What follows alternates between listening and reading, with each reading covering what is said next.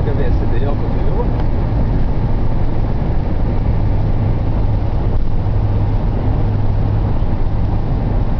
Egentlig så er det veldig greit på en måte, for her må du virkelig jobbe litt aktivt imens for å få noe brukbart ut av det.